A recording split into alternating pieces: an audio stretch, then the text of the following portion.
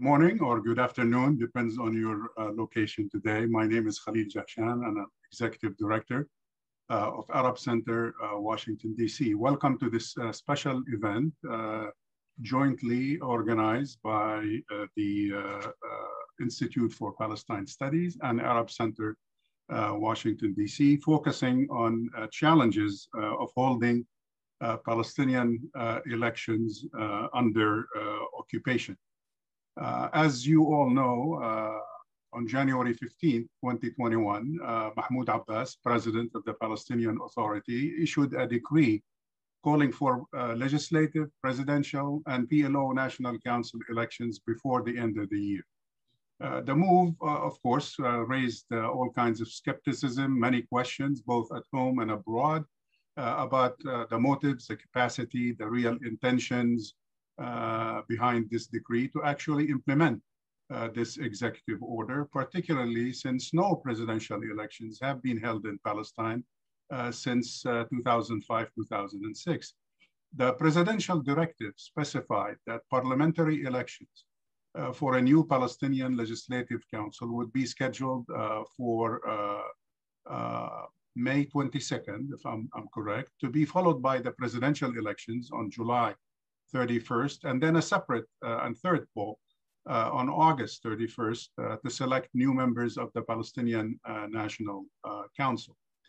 Uh, the Central Elections Commission, uh, an independent or the independent agency uh, established in 2002 to manage and supervise the organization and implementation of presidential and legislative elections in Palestine immediately uh, set the electoral wheels in motion. It published the legal electoral calendar for campaigning and voting, uh, initiated voter registration procedures in the West Bank, Gaza Strip, and East Jerusalem, uh, started the nomination process uh, for candidates, and made logistical arrangements to invite international observers uh, to monitor the elections and vouch uh, for their integrity and their transparency. Uh, the call for election by uh, President Abbas uh, was cautiously welcomed also by uh, Palestinian political factions, including his foremost competitor, Hamas, which had uh, won the last parliamentary elections back in January 2006. the movement's leaders reiterated their support for the success of the 2021 elections, highlighting their commitment uh, to participate in the democratic process, and more importantly, to quote, uh, to accept the results of the election, end uh, of quote. Now, Palestinian public opinion has been quite clear in its demand for legislative and presidential elections over the past 15 years uh, prior to this announcement. Indeed, uh, the, the, the, last poll before this presidential decree conducted uh, by the uh, authoritative Ramallah-based Palestinian Center for Policy and Survey Research, PSR, uh, back in December 2020 confirmed that uh, more than three quarters uh, of those surveys supported holding uh, such uh, elections. at the same time, most of them, unfortunately, remained quite skeptical. Only 32% expected these elections to actually take place soon in the Palestinian territories. Uh, moreover, despite overwhelming skepticism and disappointment uh, in, in the leadership, including by potential candidates in these elections, most Palestinians did endorse the process and expressed uh, willingness to participate in it uh, if and when uh, these elections were to take place. Indeed, thus far, more than 2.6 million or 93.3% of Palestinian eligible voters have actually registered by the declared uh, deadline. However, many, many, many questions uh, have been raised since January 15. And unfortunately, the bulk of these questions remain unanswered today. Um, uh, will these elections actually take place as scheduled? I mean, e even uh, at this late stage, uh, we have to debate. it looks to me that they might not take place. We will know probably this week. Can you have free and democratic elections under Israeli occupation? A more kind of existential question. I mean, what is the meaning meaning uh, of elections when you are under military occupation? Uh, what are the, lo the, logistical challenges presented by holding elections in Palestine? And we have the ultimate person uh, to help us understand uh, this question uh, today, who has uh, organized and supervised these elections in, in the past. Uh, to what extent does Israeli uh, meddling hamper these elections? Uh, do these elections reflect the aspirations and, and, and hopes of, of the Palestinian people? how dominant uh, is uh, factional politics. Uh, are the Palestinians destined to remain dominated by factional politics in the future? what are the political issues that are central to, to, to, this campaign? who's running? Who's not running? Why? What will happen should the elections fail to materialize?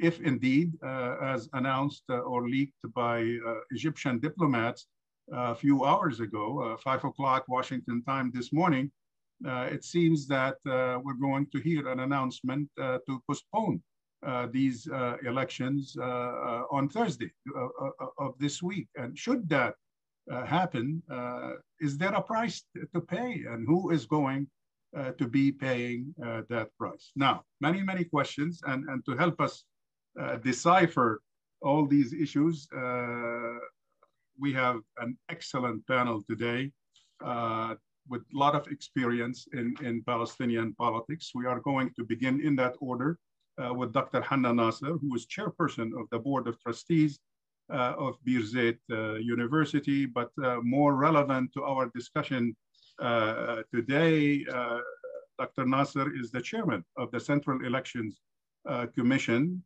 in, in, in Palestine, which is an independent body established uh, by the Palestinian National Authority back in 1995.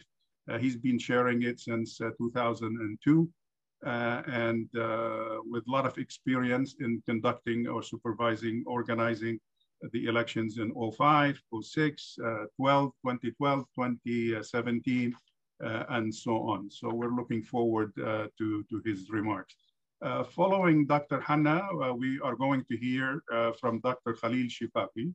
Uh, Khalil is uh, well known uh, as a prominent academic and author, and one of the preeminent, if not the preeminent pollster Uh, in, in Palestine. He's been doing that uh, actually for the past three decades, uh, where his polls have been the most authoritative uh, polls uh, internally in, in Palestine, uh, in addition to his, of course, academic and, and research contribution to the state of affairs in Palestine beyond PSR or the Center, the Palestinian Center for Policy and Survey Research based in, in Ramallah.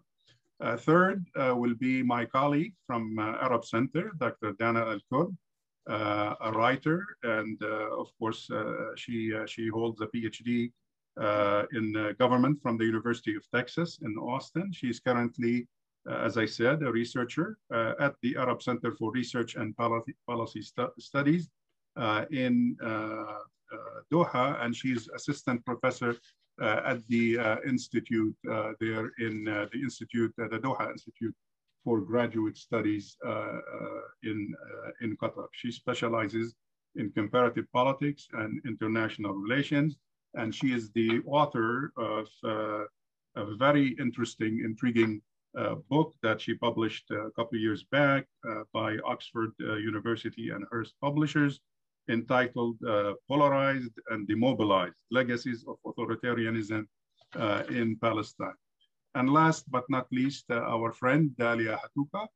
Uh, Dalia is a multimedia journalist uh, specializing in Israeli-Palestinian affairs and regional uh, Middle East issues uh, as they pertain to both business, economics, uh, culture, art, and definitely US foreign policy. Her articles on the region are very authoritative and much appreciated in terms of thoroughness and accuracy uh, and uh, very informative for those of us who follow uh, events in the region on a daily basis.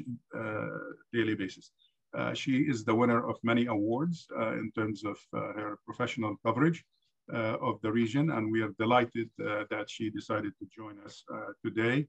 And we're going to go ahead. I think the most logical process um, is for Dr. Nasser to begin with the challenges, the practical challenges of, of putting together uh, an election process uh, like this one, the predictability and unpredictability uh, of the situation uh, there in Palestine. And then we will proceed uh, further. Uh, your participation is appreciated. I know several hundred people have joined us today. your participation in terms of questions would be welcome, particularly during the Q&A, but feel free to address uh, your question to any uh, of our uh, participants today, speakers, and I'll be more than delighted to read your question and address it, address it to the participant that you have uh, targeted uh, with with your uh, question. you you might do that by clicking on the Q and A button at the bottom of the page, or you might send an email to our email at arabcenterdc uh, org. And at this time, uh, Dr. Hanna Nasser, uh, welcome, and the microphone is yours, sir. Thanks. Thanks a lot, Khalil. Uh, we, uh, at the Elections Commission, business is as usual. We'll continue to work until we hear anything that uh, will stop the election process. The election process is extremely important at this moment. As you know, for the last 15 years, democracy has been uh, sort of grounded in Palestine, totally grounded. Uh, not only grounded, we had also the conflict between Hamas and Fatah. The country has been split into two factions, uh, Gaza on one side and the West Bank uh, on the other side. And we had governments on both sides. We had uh, governmental decrees on both sides that are I don't want to say illegal, but they don't have a base of a legislative council uh, to uphold them. So the process of election will hopefully uh, uh, kill two stones with uh, uh, two birds with one stone. We will revive our democracy, and we will end this uh, extremely un, un, extremely difficult conflict between Gaza and the West Bank. And if we can do that, then I don't. I think we would have achieved tremendous amount of success in our operation. Uh, I will speak only few uh, about few things, and then I'll tackle some of the issues that you spoke about, Khalil. But I want to give uh, brief information about the situation. The country is energized beyond my, uh, uh, my expectation. 93% of the population or the people who are eligible to vote have registered for voting. Of course, we help them in doing that by doing it also capable to do it electronically. But the most important thing is that there is an energized community that has not been able to, um, uh, to, uh, to, to elect or to have any democratic process in the country for the last 15 years. At least 1 million of these people have never elected, uh, uh, have never voted before. So we have an energized one. And as a result of that energy, we have about, um, not about, we have 36 parties that have been formed. Some of them were, as you know, split from Fatah. There's Fatah 1, Fatah 2, Fatah 3. Of course, they call themselves different names, but essentially, Fatah has split. This is not a new phenomenon in the Palestinian affairs. You've seen how the PFLP and PFLO and all these P, the, the various factions over the number of years they have split from one into the other into the other. And in the elections now, we have split of Fatah into various uh, uh, uh, lists. 36 of the lists, uh, most of them are really uh, lists of uh, non-party lists, I mean, independent people who have formed uh, maybe families, maybe large, uh, large tribes of families and so on. But the basic family, the basic parties have mostly, most of them have engaged in forming uh, a party. I'm sure Khalil will talk more about this kind of thing. The we apologize for the uh, interruption there. Uh, unfortunately, we, we, kind of expected the line to be a bit weak uh, from the, the West Bank there, but uh, we hope it will uh, resume rather uh, quickly. Khalil, okay. Could you help us with uh, at least understanding uh, public opinion? How do the Palestinians uh, feel uh, about these elections? Yes, they have registered uh, to, to vote, but uh, in a significant, in significant numbers. but at the same time, your polls indicate that they were very, very skeptical, right? That is true. the skepticism has been very high in December, as you indicated, Khalil, but in March, actually, expectations uh, rose significantly. In mm. fact, expectations that elections will take place doubled to more than 6% uh, just a few weeks ago. My guess, of course, is that today expectations are back uh, to 20, maybe 30% if, if, we're lucky, given all the talk about uh, the, the cancellation or postponement of the elections. One thing that is also positive about the recent findings in March is the concern we had earlier about the youth and youth participation. Palestinian youth tend to be extremely skeptical about governance, and we find a tremendous amount of discontent among those who are between the ages of 18 and, and 29, what we call the youth. Um, but in fact, in March, we found that a large percentage of the youth uh, are indicating that they want to vote and that they know uh, how they intend to vote. Uh, this is more in the Gaza Strip than in the West Bank, uh, but, but even in the West Bank, the percentage is higher than expected. It's not extremely high. And now I'm just referring to, to, to those young people, uh, 18 and, and, and 29. However, um, we do have some bad news from the public. Uh, I, I, of course, wish if Hanna is, is, listening because this applies to him a little bit. Um, most Palestinians uh, believe these elections will not be fair and free. Now, um, th there are various reasons why they think that. One, of course, is something that Hanna has indicated in, in what he had already told us the Palestinian Authority is not a democratic regime. Uh, only 20% or less of the Palestinians think Palestinians have a democracy.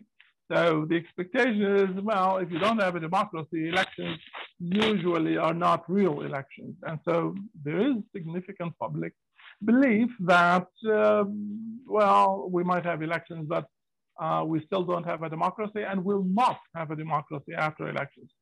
The second issue that is, uh, that is leading people to, to reach the conclusion that elections will not be free and fair is the split between the West Bank and Gaza. Um, will the opposition party in, in, in Gaza or in the West Bank, in Gaza, this would be Fatah, and the West Bank, this would be Hamas, will they indeed have the ability to campaign? Most Palestinians say, of course not a third reason for that is that only about half trust the police in Gaza or trust the police in the West Bank uh, to, to treat the process with integrity or neutrality. So again, related to the split. And, and the fourth, if I'm not mistaken, is the belief that the factions, Fatah and Hamas, are not democratic. That is the verdict of the overwhelming majority of the public, 70% say if Hamas wins the elections, Fatah will reject the outcome. 60% say if Fatah wins the elections, Hamas will reject the outcome. That is a condemnation of the, the largest two political factions. Uh, the, the fifth uh, is Israel and the expectation that Israel's role in the in the process will be destructive, that it will try to arrest uh, uh, candidates. And even if these candidates win, Israel will probably arrest uh, those parliamentarians. Finally, the, the, on the election commission, that is the part in particular that applies to Hanna. Only half of the public has confidence in the ability of the election commission to manage the process the belief is in Gaza, Hamas will dictate to the commission what to do, and that the commission will not have the capacity to resist the pressure similarly in the West Bank, that Fatah and Abbas will force the commission to do things, uh, or that the commission will have to swallow this kind of pressure uh, from the factions. So this is a concern that the commission is not strong enough to be able to force its way as an independent commission, as is expected from an independent commission. So that is where the public is with regard to the, the, the, the process itself. What, with regard to electoral behavior, how will people vote, in other words? Well, we're essentially finding two major drivers. One is the values. That is, for example, people who are religious will certainly be voting a lot more to Hamas than they will vote for Fatah or some of the other factions. Um, but we are also finding that people have priorities and they know what these priorities are and they are able to identify which faction is the one that is most able to produce the outcome they want to address the priority they have identified. We also find, although these are the two most important, we find some demographic issues. For example, young people. Um, and this is, by the way, uh, a very dramatic change from where things were in 2006. Young people have abandoned Hamas. Hamas's greatest uh, failure during the last 14, 15 years is that it has not been able to keep uh, the greater support that it had received in the past from Palestinian youth. This is not to say that Palestinian youth are interested in voting more for, uh, say, Fatah. Um, they are more interested in some Fatah figures like Marwan Barghouti uh, or his list in the, in the parliamentary elections. Um, but they definitely are not interested in voting for Abbas. Um, women, another demographic factor that we find to be important. Um, women tend to vote for Hamas more than they vote for Fatah.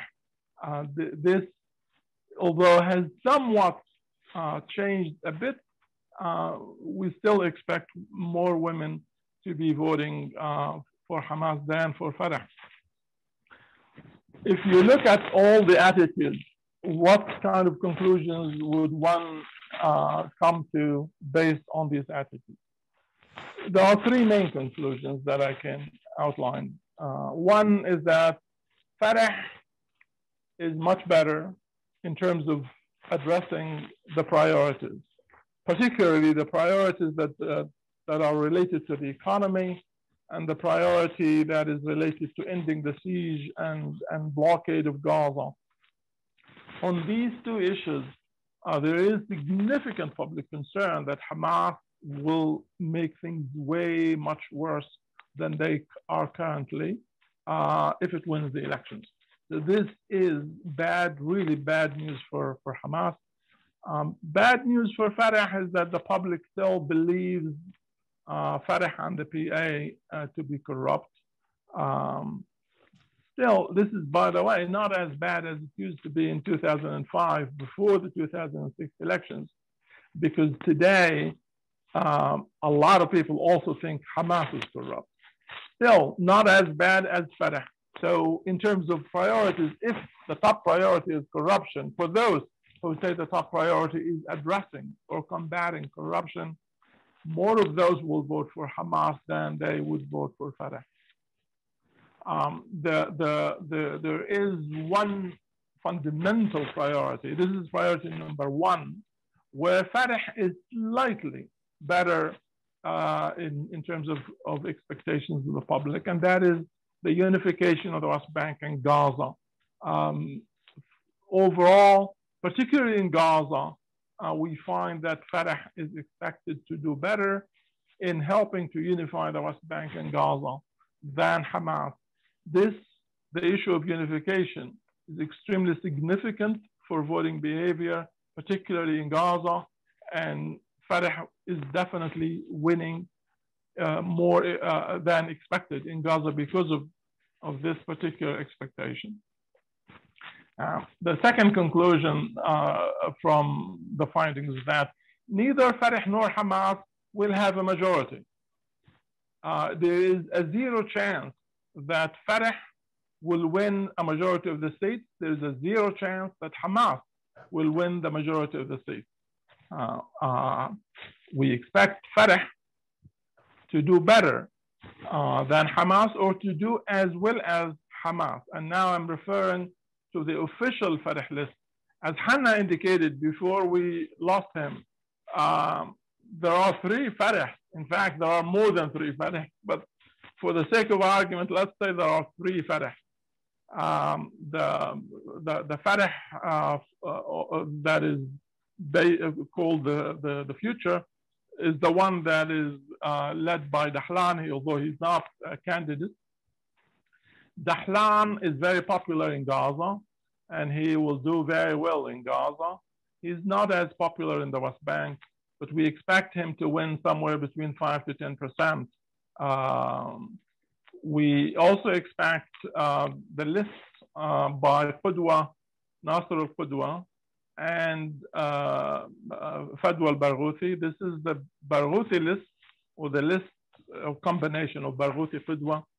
Um, this list has the greatest uh, room for growth uh, and, and, and, and, getting more and more support um, because Barghouthi, Marwan Barghouthi, is extreme, he is by far the most popular Palestinian leader. He is definitely the one who will win the presidential elections if and when they take place. There is absolutely no question about that. Um, so if, if the Qudwa Barghouthi list is successful in presenting itself as the Marwan Barghouthi's list, it will have the greatest chance of actually changing what I've just said earlier about this being Fatah and Hamas winning. Uh, it could be a three-way in this case with Fatah, Hamas, and, and Qudwa Barghouthi and Dahlan working together. In fact, we could see a situation in which Dahlan and, and, and Qudwa Barghouthi would have more votes than the official Fatah list. Um, in, in all cases, if you combine the three Fatah lists, the official and the non-official, we expect them to win up to half of the seats of the uh, um, of the parliament. Um, now, there, there, there is no doubt that there is a great deal of uncertainty, particularly with regard to third parties other than what I've just mentioned. And of course, I've considered Dahlan and, and Barghouthi to be Fatah in this case. Um, third parties are not expected to do well. Um, this could change, of course, um, given the, the election campaigns. Um, but so far, there is no evidence from our survey that third parties will do better than what they have done in 2006. In 2006, they won 15% of the popular vote. This time, this would give them 15% of the seats because of the change in the electoral system. This change in the electoral system is the one change that eliminates, completely eliminates the prospect of Hamas winning the elections. Uh, and it gives Fatah the prospect of winning the election by forming a coalition with other Fatah uh, lists or those uh, third parties who might win the elections. The third parties um, that are likely to win the elections are, are those that have won elections in the past, such as the PFLP, uh, Al Mubadara of Mustafa Barghouthi, um, and, and few others. Um, for, for the overwhelming majority of the new independent lists, our surveys so far show they are not likely to do well, um, but it is uh, way too early, assuming that elections do proceed forward, as, as Hanna said, um, we'll have to wait and see. Thank you. Thank you, Khalil. Appreciate that. Uh, next uh, will be uh, Dr. Dana uh, El-Kurd. Uh, the microphone is yours, Dana. Please go ahead. Uh, thank you for inviting me today. And uh, I'm gonna um, kind of touch on what Dr. Khalil has so, uh, um, you know, uh, covered so well with his presentation, but I'll be talking more also about kind of the long-term implications, the political implications of these elections and, and the status quo more generally, um, which um, I argue these elections don't resolve. Um, so just to begin kind of, you know, with my academic hat on, um, we have a lot of research on um, processes of demobilization and a lot of debate on how, um, you know, movements are uh, demobilized kind of from the outside, whether it's state repression or resource deprivation.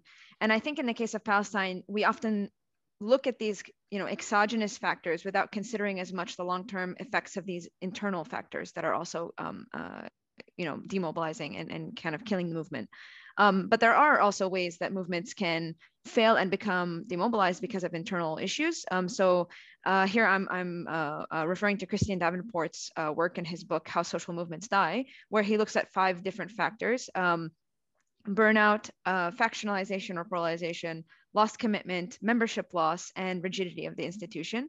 Um, so just to, you know, very briefly kind of touch on um, these points, burnout is, I think, pretty understandable um, for, for all of us. It's, it's kind of a common layman's term, but people stop participating and engaging to kind of escape the stress of the daily struggle. Polarization and factionalization is the internal divisions that fracture a movement. Uh, the third, lost commitment, is a little bit different. Um, it's when people kind of lose the emotional attachment and sense of moral obligation to, to kind of a, a, a particular struggle or cause. And then membership loss is the inability to acquire and retain new people.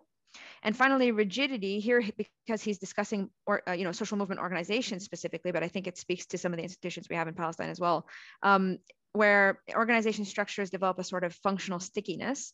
Um, so I'm quoting here, decisions become centralized around a smaller number of individuals and communication tends to become one way as information is provided to those in control, but little is provided back to those outside of the core.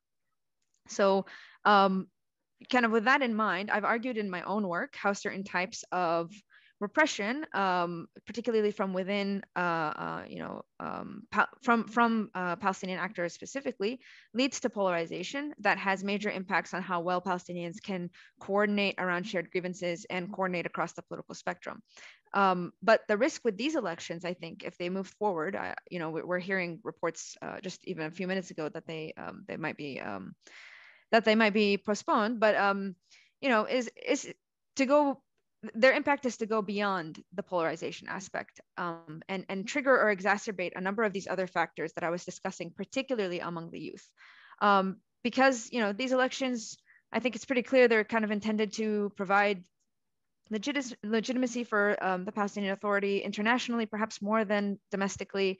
But they're problematic because one, they can't guarantee international support, and two, they can't guarantee domestic legitimacy. And I think Khalil's um, uh, polling uh, speaks to that. Um, and so, beginning with the first point, you know, international support isn't forthcoming. Um, I, I, think there was a meeting today between, uh, you know, uh, different European ambassadors and the, the Israeli uh, uh, um, officials in the Ministry of Foreign Affairs about how, you know, they should not um, impede these elections and things like this. And I mean, we, we have no guarantee that that's going to happen. East Jerusalem is still a question. And then the, the Biden administration hasn't been, um, uh, you know, fully supportive of, of every outcome of this election. So that's a huge elephant in the room that that this is not going to be um, that that might lead to issues and, and is not going to be resolved. And then secondly, I think as has been alluded to a number of times in this discussion, that these elections are being held under the context of increased repression in a system where opposition has not been allowed a space to develop and where the official parties themselves seem happy to coordinate to entrench the status quo. So I, I really consider, you know, at this point, Hamas is often kind of painted as the opposition party to Fatah, but at this point, they really are both uh, you know, part of the the the the, the status quo um, in both their respective spheres. And so under under these conditions, elections, even if there isn't outright fraud, um, cannot be necessarily legitimate and won't be read as legitimate by by the Palestinian public. And I don't mean um, you know to claim that elections are you know all bad or that we oppose them under any circumstances in the Palestinian context, but it's it's just that a focus on elections I think can distract from you know the real work that needs to be done to rejuvenate effective mobilization around the Palestinian cause uh, internally, and it gives people the sense that you know if this is their main outlet for their political grievance, and then event- inevitably when this outlet disappoints, either because the elections get postponed or because the elections don't go you know well, it can lead to all of the factors I was discussing, you know, burnout and a loss of commitment and serious problems we haven't fully considered considered um, in terms of um, long-term support for and use of um, armed armed strategies and violent strategies. So, um, you know, on top of that, we have research that shows, um, you know, deliberative engagement is key to combating alienation and political apathy. Um, and deliberative engagement here means kind of face to face in spaces that build social ties and facilitate connection. Um, and, and the function of, of socialization here is, is key to facilitating the success of this. And in Palestine, we can see that this has been discouraged. Um, you know, alternatives to the political parties aren't really given a space to function adequately. And the political parties themselves don't necessarily serve as a space for any kind of rejuvenation of ideas or inclusion of new people. I mean, Tariq Dana has some work on this related to Fatah's internal party structure, but I think it speaks to the broader um, political spectrum. And, and again, this is reflected in public opinion, as Dr. Khalil has, as, as uh, um, you know, very well uh, uh, uh, laid out. And in, in some of the Arab Opinion Index's own polling um, from the Arab Center, um, so we polled in 2019 in Palestine, we found that only 23% of the Palestinian public has any level of trust with political parties. So a full 70% distrust them to some degree. Um, and then when it comes to official institutions of the PA, only 8% of Palestinians feel the government represents all citizens equally. And 58% that the PA think that the PA does not represent public opinion to any degree. Um, and finally, when asked directly about whether they would participate in elections, at the time, so this was uh, done at the beginning of 2019, 43% of Palestinians said they wouldn't. And among that 43%, the most common reason cited was that elections are useless. Um, so this doesn't necessarily contradict anything that we're seeing in polling today because when we asked people kind of their you know whether they support the idea of elections and i think that's the crucial difference is that you know these elections or just the idea of elections as kind of a concept in terms of choosing political leadership um, 72% of palestinians on that question um, believe that you know free and like consistent elections should be the way to choose political leadership. They just don't have faith in the elections in the current context. So among this population um, with this kind of baseline of views, uh, born out of a stagnating political situation for decades, you tell this population that elections are key and that these elections are where they should put their effort. I really think that this kind of situation poses a real risk to exacerbating apathy and alienation, especially amongst um, you know younger generations, which is again borne out in public opinion polls that um, uh, the Palestinian Center for Survey and Policy Research has has conducted as, as recently as March. Um, and so this has ramifications on how Palestinians engage with um, the Palestinian cause in the future. It can breed a sense of fatalism and um, desperation among certain segments of society. Um, it can um, hasten attempts to leave and migrate, and it can and you know make people more supportive of um, drastic measures.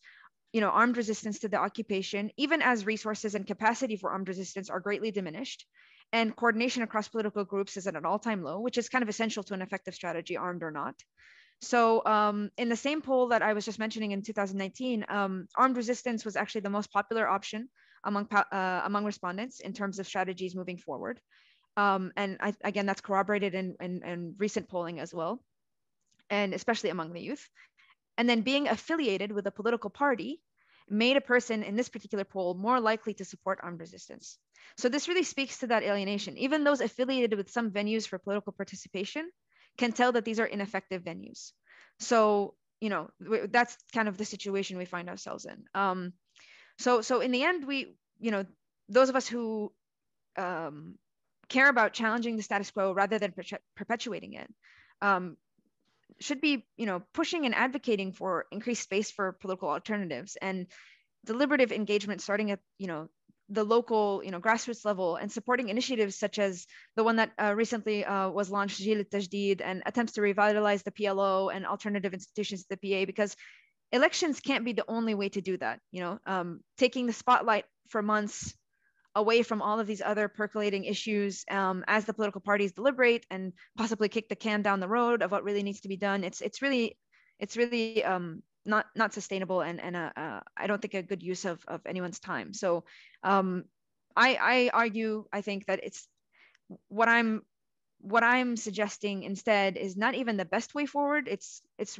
really the only way forward because perpetuation of the status quo will be catastrophic on, on, on a number of different levels, including, you know, most importantly to internal Palestinian politics.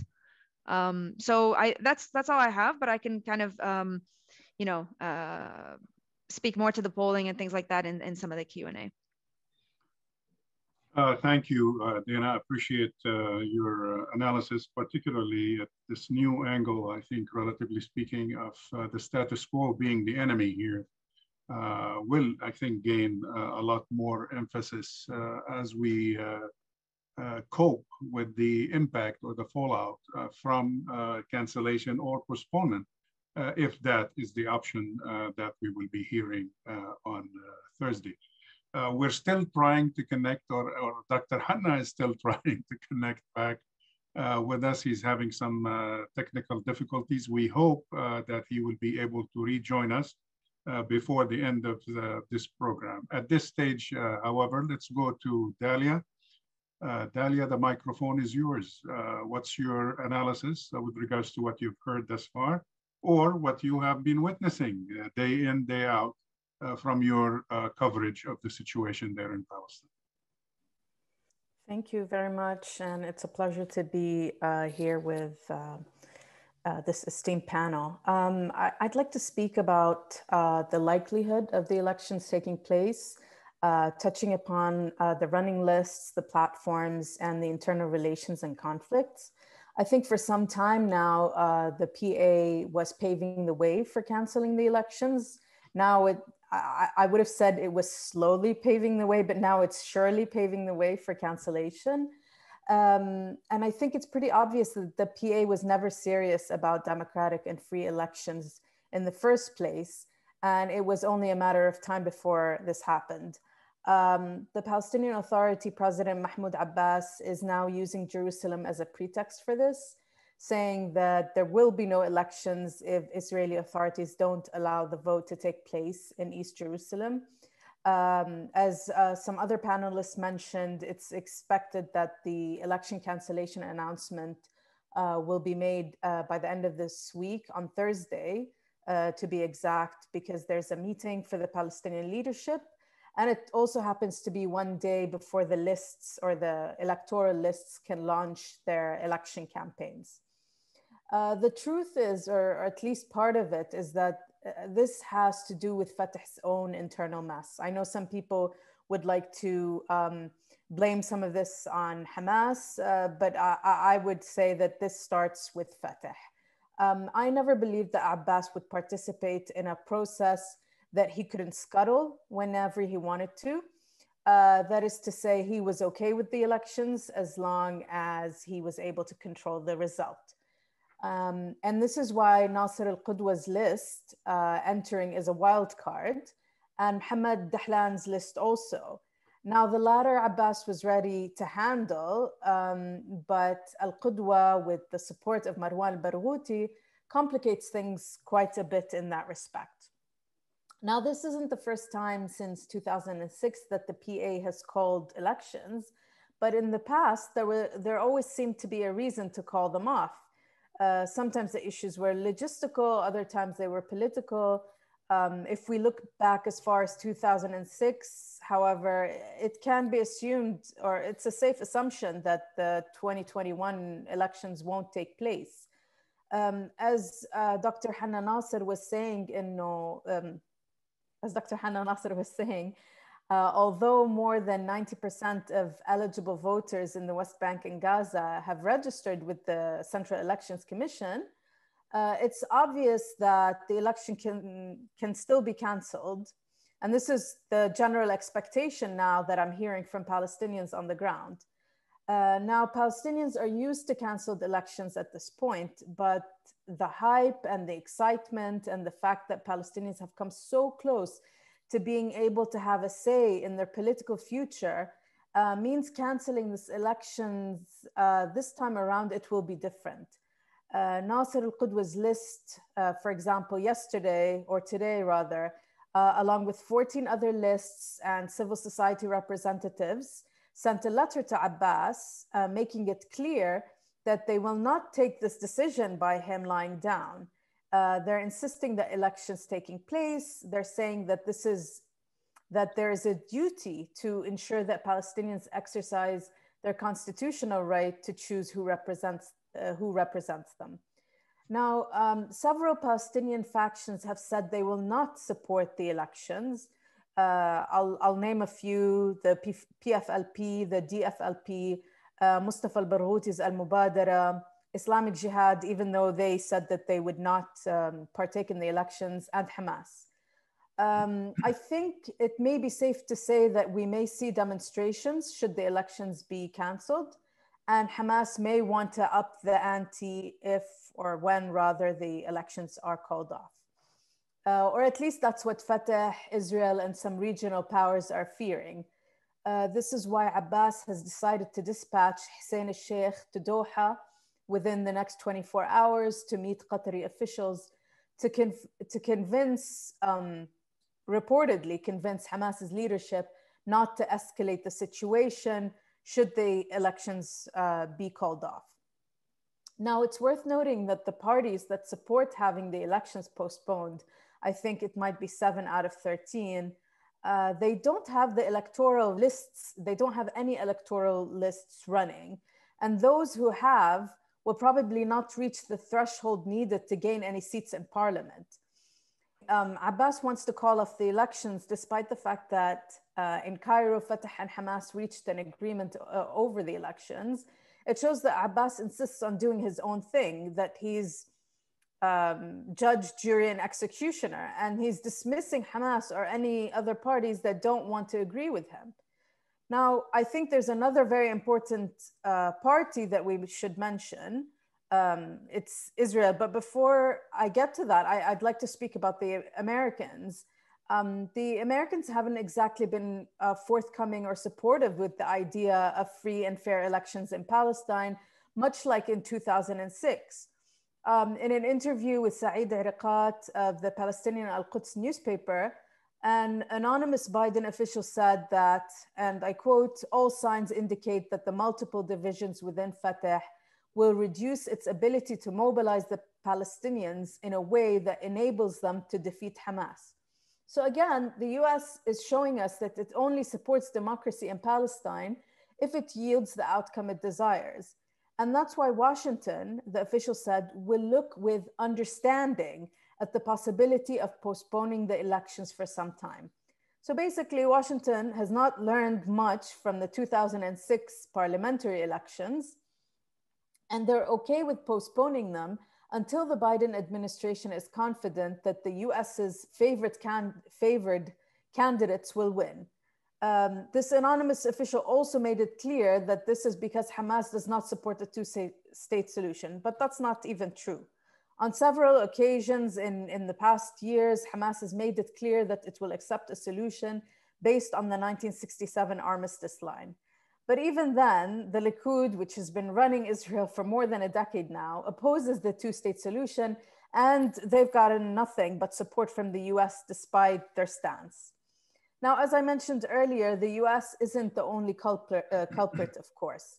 Uh, there's Israel, and it remains silent, eerily silent, on whether it will allow elections to take place in East Jerusalem, which it controls. But its silence has also been matched with detaining candidates in East Jerusalem who are considering running and preventing election related events from happening there. I believe they've already scuttled two election related events uh, in East Jerusalem. There has also been some media reports that Israeli authorities informed the PA through COGAT or the military arm, um, the Israeli military arm responsible for civilian affairs in the territories, that they will not allow elections to take place in Jerusalem. But so far, no one has gone on, on the record to say as much. Um, and lastly, I'd like to talk about a little bit about how it was easy to kind of see from the get-go that these elections would not take place. Apart from what I just mentioned, uh, there's the matter of the intra-Palestinian rift, which made it nearly impossible to hold elections at a, at a previous time. Uh, I think even if the elections are to take place, we still uh, have uh, several problems. One of them is that Fatah and Hamas have not yet agreed on the security apparatus responsible for securing the vote and on which court would preside over potential legal disputes. Um, and I believe one of our panelists mentioned this as well, uh, the, the question of how could both parties guarantee that the elections will be free and fair in the respective areas they administer? Hamas has a poor track record of tolerating dissent or even different political opinions, while Abbas has forbidden anyone from the party's um, Central Committee and Revolutionary Council from submitting their candidacy for the official Fatah slate. And from the beginning, we were hearing on the ground um, reports from the ground that Abbas may use the COVID 19 pandemic as a justification for delaying the elections yet again. So, this proves to us that he was never serious about the elections if he couldn't control the outcome. Um, and that's why it's worth looking at the changes Abbas decreed that restrict the possibility of running. This includes changing the age of candidacy, the high fees involved, um, the fact that anybody who wants to run has to resign from his or her job. So to clarify, an, an amendment um, made to the election law stipulates that anyone who wants to run in a slate must get written consent from their workplace to resign. This means people will lose their livelihood to run. There's also a fear that permission to resign will not be granted to those that Abbas doesn't want to run, which effectively lets him handpick who will compete against his party.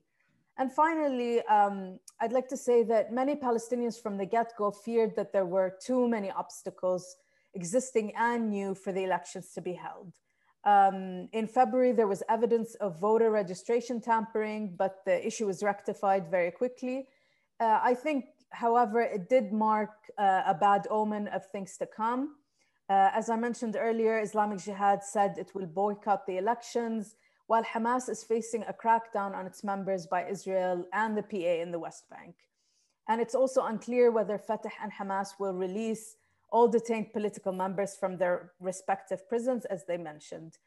Um, these, are, uh, these are some of the key points that uh, I wanted to mention for now, and I'm happy to take anybody's uh, questions uh, during the Q&A. Thank you. Uh, thank you, uh, Dalia, for your excellent analysis and broad set of issues that you have covered in, in, a relatively short short time. So we thank you for that. we're delighted that Dr. Hanna has been able to rejoin us. We're at the mercy of technology these days. Dr. Hanna, go ahead, please. I, I think by now I, I cannot really because there has been a lot of discussion. The only thing I want to comment about is really on the Jerusalem issue. Really, that's that's sure. my my main uh, issue. Of course, there are uh, difficulties, uh, obstacles, not only by the Israelis. I will mention that uh, in a moment, but the Palestinians have to be assured that the results of the elections are respected by the various parties. Mm? To that effect, we have made a, a code of honor uh, where, where everybody signs that. And normally, normally I say, during the last three elections, legislative elections and presidential elections, there was no really fraud in the elections. I have to admit, uh, people accepted the results of the elections uh, easily. And one of the reasons, I don't want to give myself, to pat myself on the shoulder, uh, there is a lot of um, respect for the integrity of the uh, CEC, the Elections Commission, and therefore, in general, people accept the results.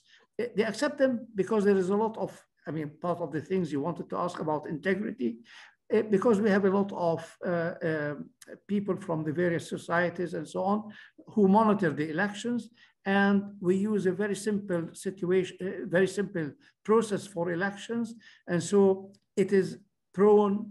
I mean, it's very difficult to have fraud in, uh, in our election system. But really, the Palestinians accept the results of the elections.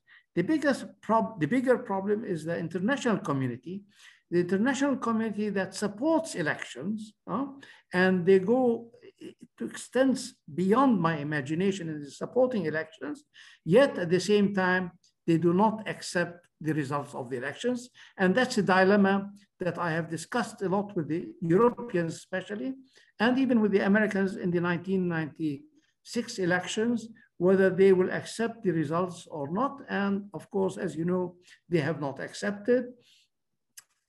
Uh, it's interesting to say that in 1990, in 2006, uh, Abbas accepted the results of the elections and he handed over the country, the, the, the, the, the government to uh, Ismail Haniyeh. So really on this side, we have a certain amount of clarity.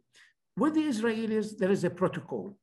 The protocol is, in my opinion, is a bad uh, protocol. But that protocol was made in 1996, a protocol about elections in Jerusalem. That protocol was initiated in 1995, especially for the 1996 elections. It was supposed to be for one time. After that one time, Jerusalem was to be re resolved. The issue of Jerusalem was supposed to be resolved. It wasn't resolved. And in 2005, we used the same protocol, which means people go to the post office boxes uh, in Israel and do their voting. And in 2006, we did the same thing. And now this uh, unfortunate kind of protocol has become uh, something that the Palestinians are requesting that the Israelis have to abide by that protocol. That protocol by itself is really uh, uh, is, is not the best kind of operation for elections in Jerusalem, but for some reason, uh, it has been given a certain halo that this is the way we want to have our elections uh, uh, uh in Jerusalem. And up till today, the Israelis have not accepted, and therefore the chances of the elections being um, being cancelled is a high uh, is a high uh, uh, probability. I will only want to make one final thing about the elections. Of course, democracy and occupation don't exist uh, uh, for a long period of time. And our fight for democracy uh, should be also a fight for democracy and at the same time for liberation of the country. I think we have, our generation has failed in the liberation of the country. I hope we will not fail, at least in the, uh, in the democratization, which is an essential part of the liberation. I hope we will keep for our next generation a democratic country that will have the basis for the liberation uh, of our country. I, I, want to stop at that level, but I will want, I will, because I've lost a lot of what you have said, if there are any questions, I would be ready to say. I want to make only one minor comment uh, on the last speaker about the laws. The laws concerning resi resignation have been installed in the law, the election law, since 1996. And it is one of the worst items in the law that people have to resign, but it is not the work of Mr. Abbas. It has been initiated in 1996 and in 2005 and in 2006 and in the present elections. So it has been a continuing one, and we want to work very hard in order to eliminate that uh, this kind of uh, law. I will stop at that level. I will send you my paper in full so that because I missed a lot on, on issues, but I will take any questions if there are uh, any questions addressed to me. Thank you uh, very much, Dr. Nasser appreciate the fact that uh, you resumed uh, your presentation after this unfortunate uh, technical interruption. Uh, let's go ahead and move now to the Q&A session. And again, I would like to remind a couple of hundred people that uh, remain uh, participating in this event that we welcome your questions. we have received quite a few already, but we will welcome some more. And we will spend the next 30 minutes trying to respond to these questions, please use the uh, Q&A uh, format uh, on your the bottom of your page there, or send an email to the center email at arabcenterdc.org and it will be transferred to me to read to our guests here. Uh, the first question we have is from uh, Dayala Asid, uh, addressed to Khalil Shikaki. Can you explain why women would vote for Hamas more than Fatah? Thank you. Uh, well, the answer is very simple. Palestinian women tend to be more religious than Palestinian men. And we find that overall, uh, if you are religious, you're more likely to vote for Hamas than to vote for anybody else. So religiosity seems to be the most uh, important issue. I can perhaps add that in families that are conservative, um, we also see the same trend. Conservative families tend to uh, behave the same manner as religious families. And in these conservative families, uh, there is an added component that essentially dictates the women how to vote. Uh, so religiosity and conservatism seem to work hand in hand to serve uh, uh, Hamas's interest when it comes to the uh, vote of women. Uh, thank you, Khalil. The next question comes from Iman El Banna, and I'd like to uh, split this one uh, between Dalia and Dana. The question goes, following the tensions in Jerusalem and demonstrations in solidarity that took place across Gaza, the West Bank, and elsewhere, what are the odds that we could see a new broad-based popular mobilization uh, across Palestine by the Palestinians in the near term, especially in combination with separate protest movements taking place in Palestine, like in Yafa and Umm al-Fahim on, on the inside. Is there a linkage uh, potentially uh, there? Uh, Dalia and, and Dana, feel free to take a jab at that, please. Dalia? Um, I think that there is some hope um, that um, uh, the cancellation of the elections will reignite some, some of that fervor. Um, I've seen that a lot of uh, Palestinians are very excited, very motivated, especially young Palestinians, to partake in these elections, considering that it has been more than 15 years. And I think that um, while the Israelis would like to draw a line between Palestinians inside Israel and Palestinians in the West Bank and Gaza, um, that line is blurred. And we've seen how support for Palestinians in East Jerusalem in the past few days uh, from the West Bank and Gaza has been enormous. Um, uh, so I think that uh, canceling the elections would be um, a very big problem at this uh, stage, especially because um, there's also, as I mentioned, like been uh, efforts by younger folks uh, to run, and those have been met uh, with restrictive measures that have prevented them from doing so. Um, I believe it was Dana, and maybe she can um, speak to this uh, uh, uh, in a few minutes. Um, she mentioned the Generation for Democratic Renewal or Jil Tajdid Demokrati. It's a youth-led political initiative uh, it's not running in the May uh, legislative elections uh, due to legal restrictions that prohibit uh, many younger Palestinians from running and uh, their inability to participate directly in the Palestinian National Council or the PNC. So instead, um, uh, what this political initiative has done is that they've launched a virtual par parliamentary list it's made up of young Palestinians running on what it describes as an inclusive and democratic political program. It's open to candidates between the ages of 18 and 45 years old. Um, and as I mentioned, this is a virtual list. Uh, it's not going to contest the legislative elections, but it's designed to act as an incubator for future youth led uh, political mobili mobilization. So I think um, as I mentioned, just to reiterate, I, I, think that anything that happens in the West Bank will reverberate in um, inside the Green Line and vice versa. So um, uh, at, at, this point, I think uh, we have to wait for Thursday and see what happens uh, uh in terms of the uh, results of the uh, Palestinian leadership meeting. Anna? Yeah, um, so I think that we need to kind of make a distinction between protests happening and a broad-based, you know, mo- you know, movement.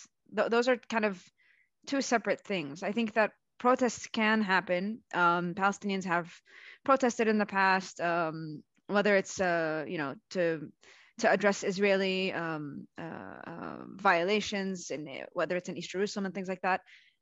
And you know, we had like the teachers' unions. We we we've had like a couple of different um, uh, um, small scale, let's say, uh, in terms of scope protests, um, but we haven't had kind of a broad-based movement in the same way that we once had in Palestinian history, in Palestinian modern history. And I argue that, you know, the the the geographical and political um, fragmentation that has occurred as a result of um, as a result of essentially the international community supporting the Palestinian Authority after 2007 and uh, consolidating the Palestinian Authority's control has, um, you know, actively destroyed the ability of Palestinians to coordinate at that scale that we we you know we once saw.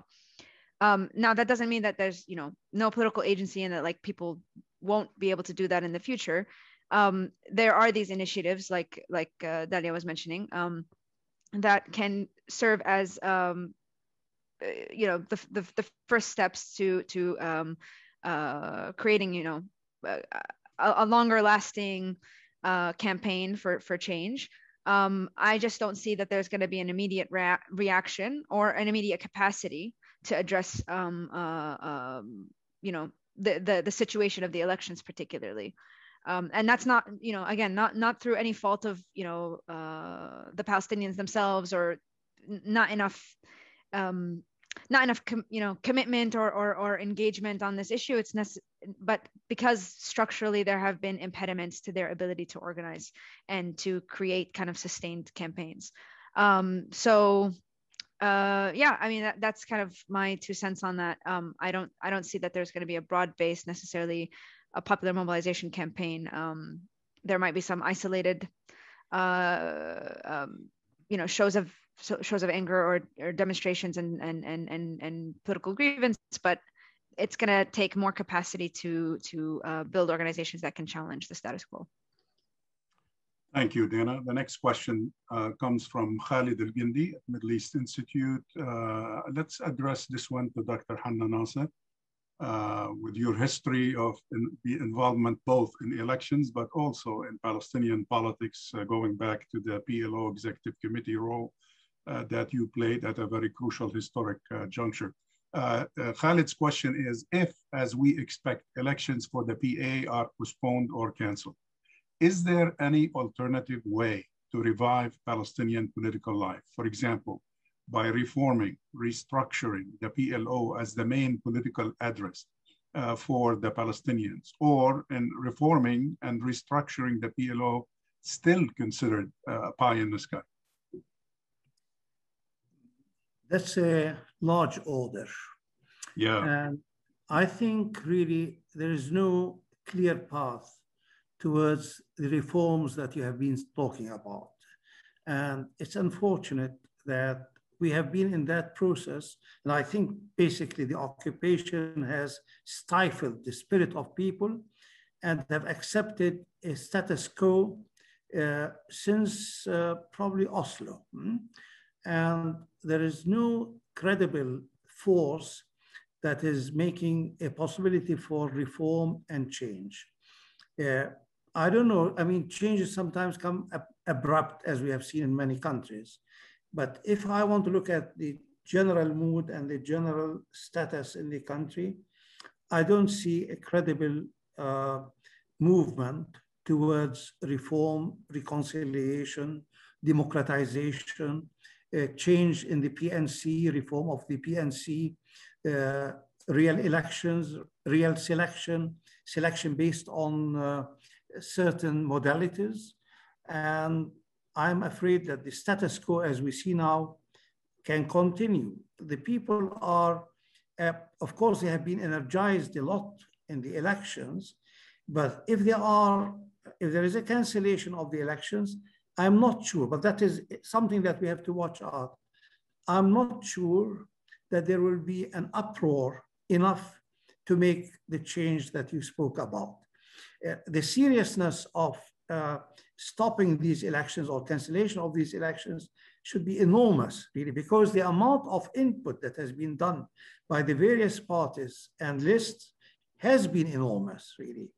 Uh, and yet the test is to see if these elections are canceled for any reason, whether there will be uh, an uproar or not.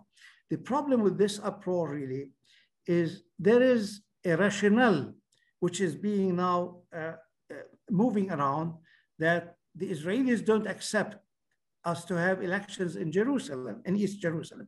Of course, that's a very credible reason, but we can overcome that. We can overcome that if there's a political decision to do elections in Jerusalem, irrespective, irrespective of the Israeli acceptance.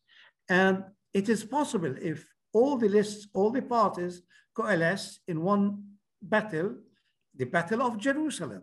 We cannot say that we are under the auspices of democratization and we have to take the, the, the, the cue from Israel to provide us the premises to do our elections in the post offices. I think this is a, a, a, a very, a, very, uh, a very difficult thing to accept that we seek ourselves as Palestinians, we seek the sovereignty or to, to understand the sovereignty of the Palestinians in Jerusalem is through the ballot boxes in the Israeli post office boxes and under the Israeli auspices uh, without having anybody from the Elections Commission uh, monitor these uh, post office boxes. And so really, I think uh, uh, the future reform, as I see it, is not really something that I can bet on very, very soon.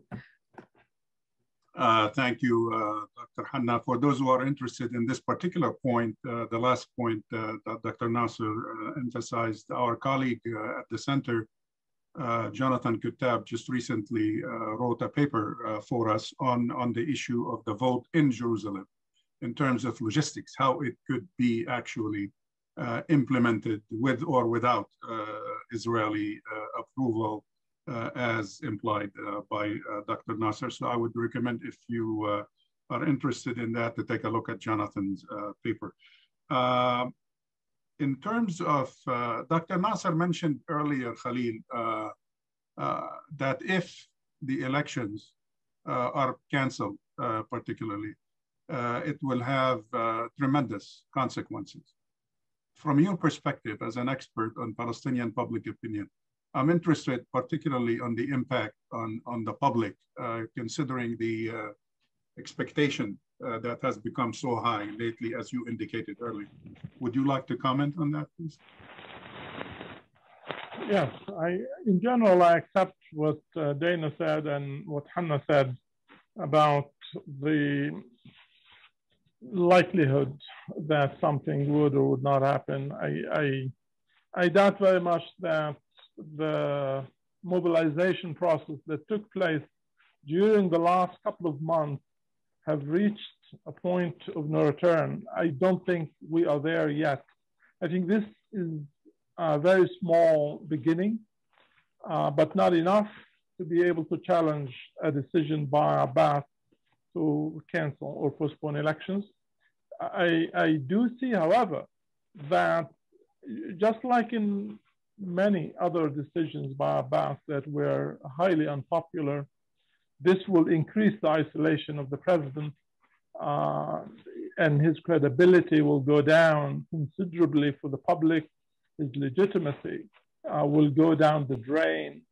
His ability, therefore, to mobilize the Palestinians in any effective manner, whether to address domestic problems or the issue of Israel, and the occupation will diminish considerably. It is already way too, way too, too much diminished.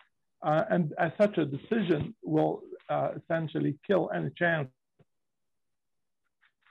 that this president uh, would be taken seriously by the Palestinian public, even though the public, as I said, is not mobilized enough, is not organized enough to be able to challenge Abbas hopefully I'm, I'm wrong about this, but I, I, I, I don't see the cancellation decision having the kind of shock impact uh, that would get the Palestinian public from the situation they are currently in.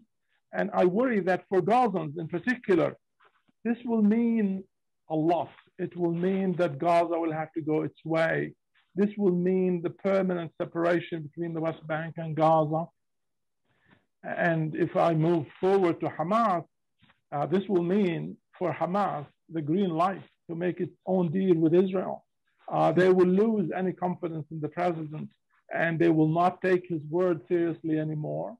And their next step, they're stuck with Gaza. They wanted an opportunity to get rid of Gaza or part of Gaza if they could. Uh, but now, if, if the president decides to cancel or postpone elections, uh, this will be a sign for Hamas that they need to make their own deal. Um, and, and the separation between the West Bank and Gaza will be considerably consolidated as a result of the decision. The president will be making a huge mistake. He will be punishing the Palestinian public for a crime that Israel will be committing. Israel commits a crime by preventing Palestinians from holding elections in East Jerusalem, and our own president decides to punish the Palestinian people for that decision. It cannot be more crazy than that.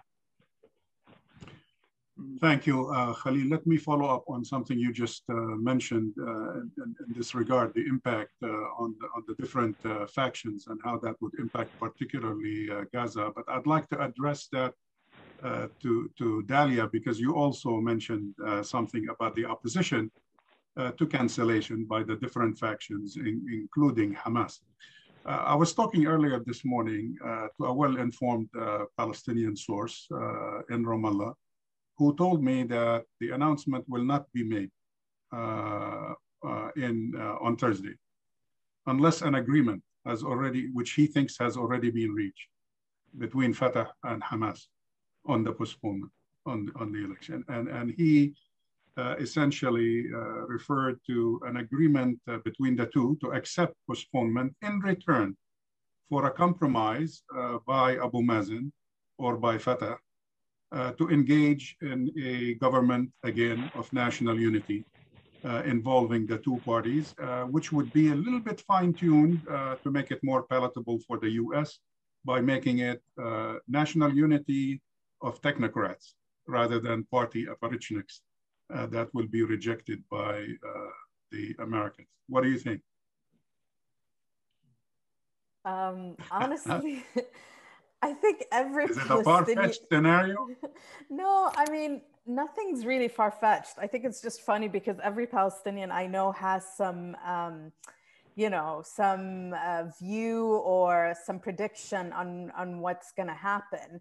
Um, uh, I know for a fact that you know um, in Cairo, both Fatah and Hamas uh, didn't make any headway in trying to reconcile their main differences. Uh, what they did essentially is try to um, um, uh, agree on how the electoral pie would be uh, uh divided. So I, I, wouldn't be surprised if, if this is true. I haven't heard anything to that effect. Um, I have what I have been hearing is Hamas is adamant in its um, uh, you know, is adamant that the elections uh, be allowed to go ahead. And I think, as Dr. Shikaki mentioned, uh, Abbas is essentially um, um, basically punishing Palestinians for, for believing that he has been, you know, ruling uh, for far too long um, without parliamentary oversight since 2007, uh, 2007 uh, when uh, Parliament became defunct. And I, I think um, the reason why this time around things might be a little different, and I, am not saying it's it's gonna you know lead to a fully fledged intifada. Um, I'm just saying it's a little bit different because there was some hope for uh, parliamentary elections, um, um especially with the introduction of um, uh, the uh, runaway lists uh, by Nasser al-Qudwa and uh, Marwan Barghouti. And I, I, think a lot of people look at what uh, Abbas has done to Nasser al Qudwa uh, uh, in, in a manner that, um, that will surely affect Abbas's uh, stature as well, because Abbas made sure to make al Qudwa pay for his decision. He expelled him illegally from the party's central committee. Um, he took away his position as head of the Yasser Arafat Foundation. He even did um, took away his security detail and government issued car, which shows how far Abbas will go to get back at those who don't obey him. Um, I, I, think there was a lot of hope that the Qudwa uh, led slate uh, will solve some of the PA, Fatah, and the PLO's institutional and structural problems. And they're the very same problems that allowed Abbas to be at their helm for so long. I have a journalistic freebie for you. Check on the results of the Hussein Sheikh's uh, trip to uh, uh, Qatar and uh, uh, include that in your next article. All right, thank, thank you, uh, Dalia. the next question is for Dana from Alison Glick. Dana, while it seems that the elections would be canceled, regardless of that decisions, how can grassroots organizations tap into the momentum, uh, disappointment, anger generated uh, to focus on the issues you mentioned uh, are paramount. And particularly, how can international solidarity support that? Um, it's a difficult question for me to answer because I'm not on the ground and I'm, you know, not an activist. So um, I think that somebody in that position would be better suited to understanding the tactics that work best. Um, however, I can at least say that um, the initiatives that exist or might emerge because of this moment. Again we keep using Jil Tajdid as a as a as an example but you know that they're not the only ones. Um, they they should themselves think about um, being as inclusive as possible across uh, geographic boundaries. And i think uh, um, that is you know at the forefront of a lot of palestinian activists mind at this point um, in, in, addition to, as Dalia mentioned, like across the green line, I think that that would be a very interesting dynamic um, uh, to to kind of push forward in the future, um, and try to break the structures that have allowed for the political fragmentation of Palestinians um, the, the last you know uh, 15 years or however long it's been since 2006. Sorry, I was fasting and I'm I'm quite uh, tired at this point. Um, You're all right yeah yeah. So so that's that's one thing. And then um in terms of the international you know um aspect or international solidarity i mean part like i mentioned earlier part of the reason why alternatives haven't emerged is because they haven't been allowed to emerge. So i think that if people are interested in what's you know in supporting these kinds of initiatives helping them to build capacity um, they have to first and foremost protect them from repression um, and to you know advocate on their behalf when they are repressed, either by the, the Israelis or their you know subcontractors. So um, so yeah, I mean, I, I don't know if that, that that's a very fulfilling answer to to the question, but um, that's about as specific as I can get given my my uh, position. Thank you, thank you very much, uh, Dr. Hanna uh, Dana Baransky Walker. Uh, basically is asking, uh, you mentioned the uh, percentage, high percentage of registration uh, by the Palestinians, 93.3, I believe you, you mentioned. Uh, how many, uh, what was the percentage among Jerusalem Palestinians in terms of registration? was there a unique problem there? Yes, because of the unique problem in Jerusalem and because we cannot go into Jerusalem and do registration, so we made special uh, measures. We did special measures for Jerusalem and we are allowing them to vote without pre-registration. And the way we do that, we have centers on the suburbs of Jerusalem, over and above the ones in supposedly in the post office boxes in East Jerusalem. We have uh, centers, and any Jerusalemite with an ID card, he can come and vote. And the way we check that he did not vote before, I mean, he did not go to several places, we have the stamp on his finger. And so really, this is the best we could do for the Jerusalemites is to give them free access to the voting booths without pre-registration. And we do, we do this for about, I mean, the population in Jerusalem that is eligible for voting is about 150,000. And so we have centers all around Jerusalem where they can come and vote and use that uh, system. So uh, if, if elections are, of course, uh, canceled, uh, then uh, there's no elections neither for the Jerusalemites nor the people from the West Bank. I'd like to use that time slot you gave me to say, if the elections are canceled, which is a great, a, a, a, a large uh, effect, which will have a large effect, I think Abbas should really do something as large uh, as the cancellation in order for people to be uh, to uh, accept that cancellation. And I think as powerful as the cancellation.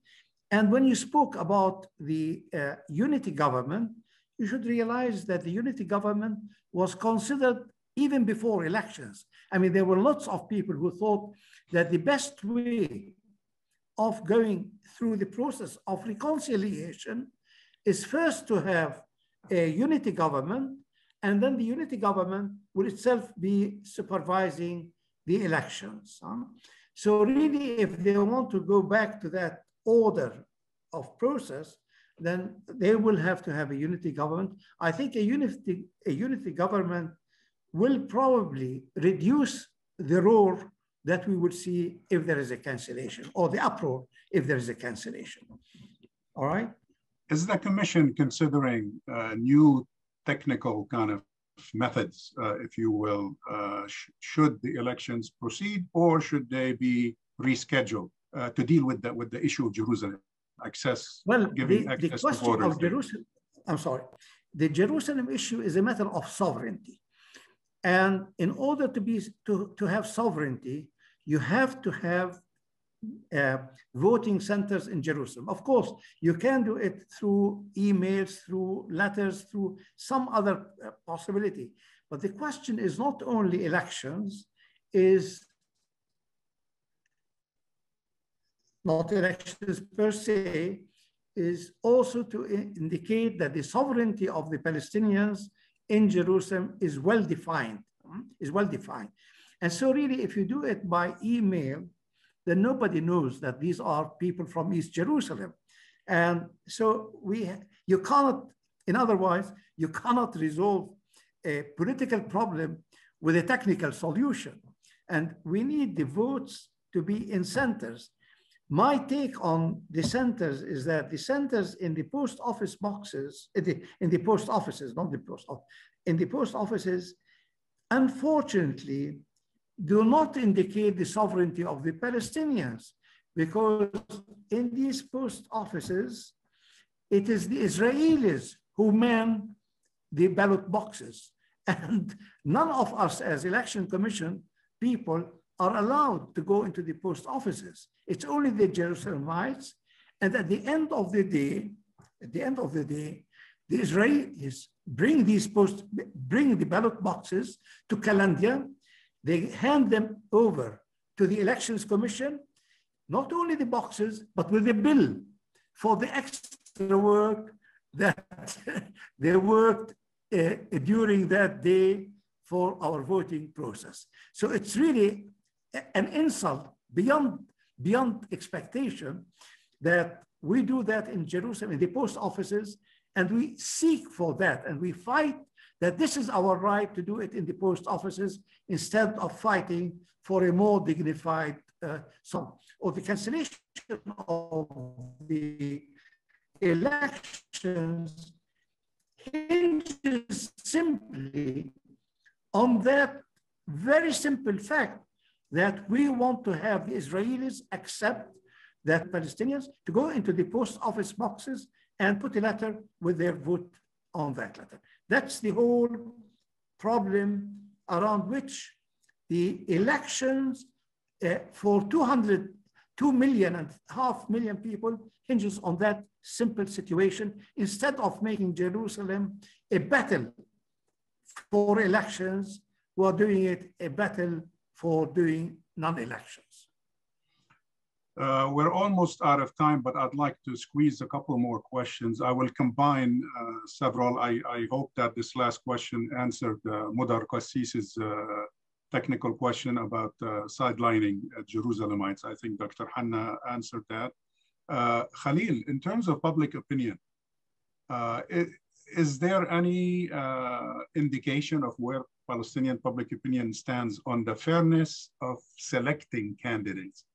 Do the public in Palestine feel that the, the whole range of candidates, the 36 plus list, do, are they representative? Do they satisfy the thirst uh, on the part of Palestinian public for representation?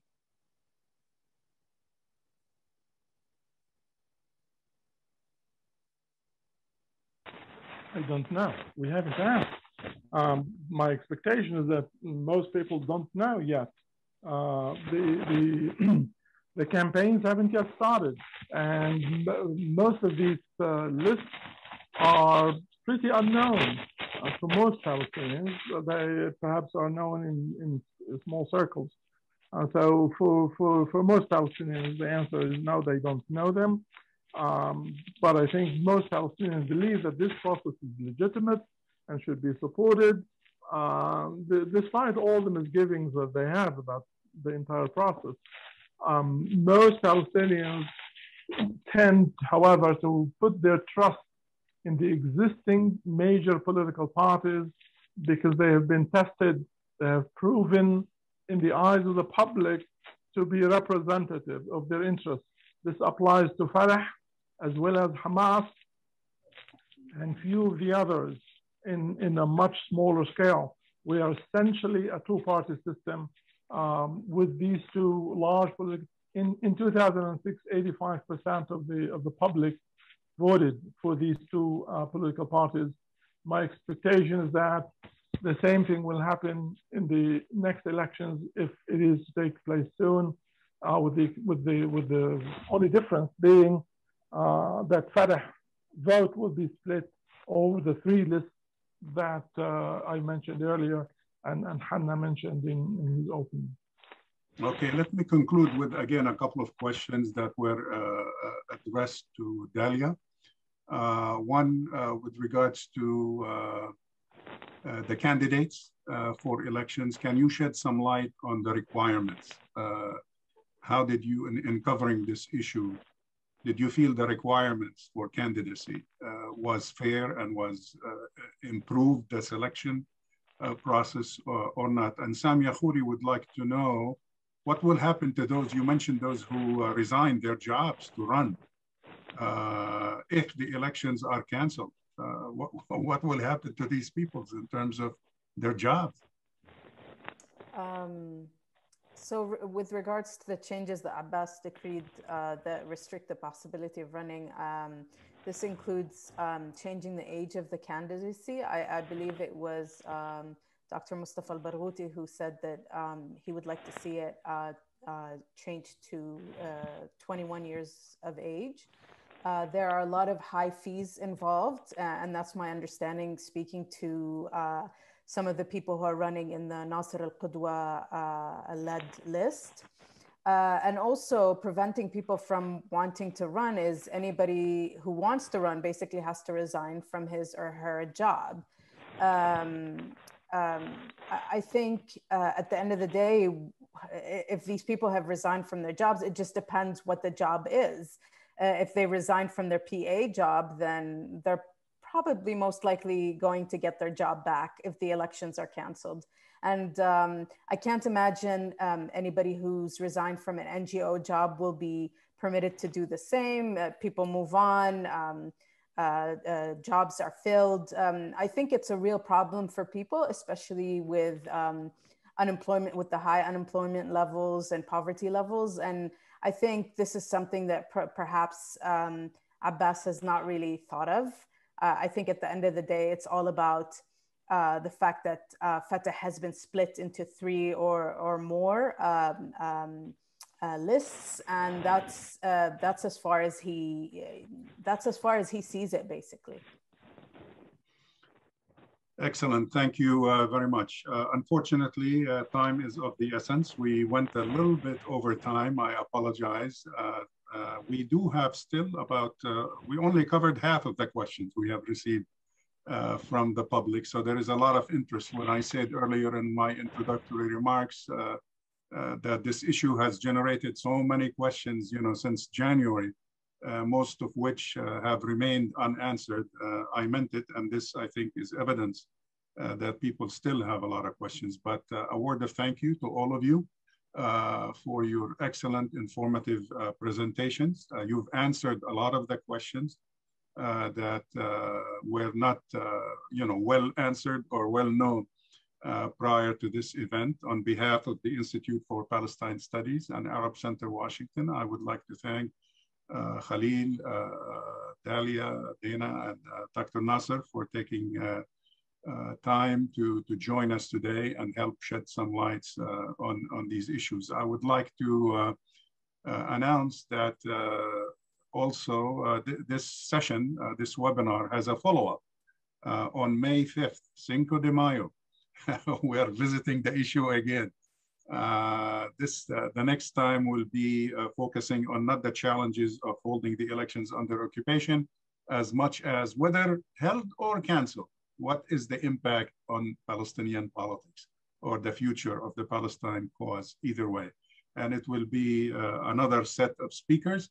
Uh, please join us uh, and register for that. The announcement is, is out there on our website and has already been uh, emailed will be uh, sent, a reminder will be sent actually this afternoon uh, to everybody. And we hope to, to see you again on the 5th for part two of this jointly sponsored by the Institute of Palestine for Palestine Studies and Arab Center, Washington, DC. Thank you for being with us today. And uh, please uh, be well and stay safe.